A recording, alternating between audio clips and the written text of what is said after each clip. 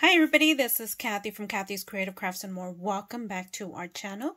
Today I am coming along with the Project Share and a VR for Sinfully Paper. This is Meliza. She is um, celebrating her one year long um, here journey with YouTube. Anyways, I'm sorry. Oh my goodness, I it feels like I haven't made videos in a while, so I'm a little off.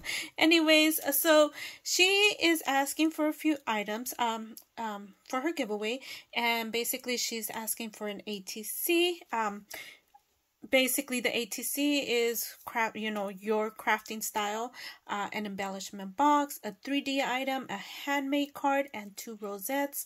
So it's really simple and basic. Um man I I saw her post on Instagram when she first posted it and okay I had a plan and I procrastinated. I did one thing and then procrastinated, did another thing, procrastinated, and I think I'm finally finished. Anyway, so let me go ahead and show you guys what I ended up creating for her.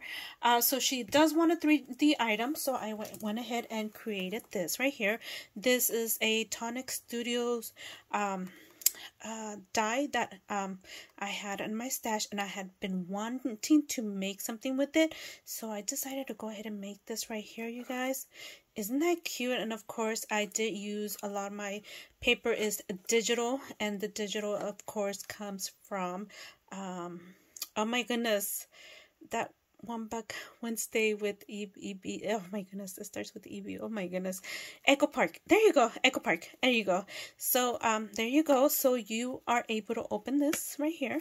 I do open it right here, and I just click it in there so that way you know it's in there and then I did make her some rosettes and they are all in here and I just embellished that one but all the other ones are in there and there you go. So just a little sneak peek. So I will go ahead and put that back in there.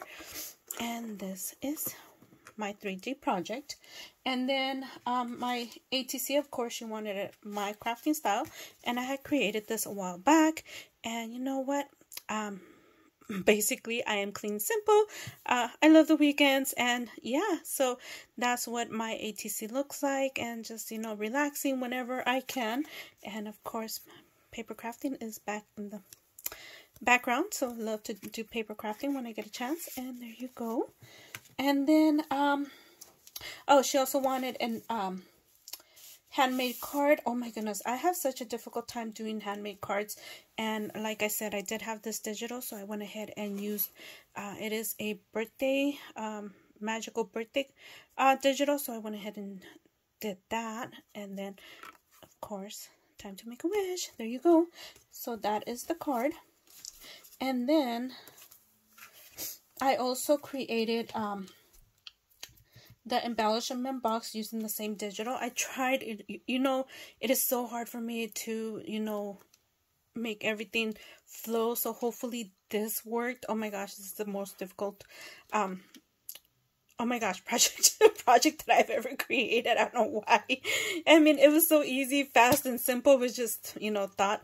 And of course, my embellishment box, and I did, you know, do the digital and the inside and I'm not showing everything so that way she can get surprised on the items inside.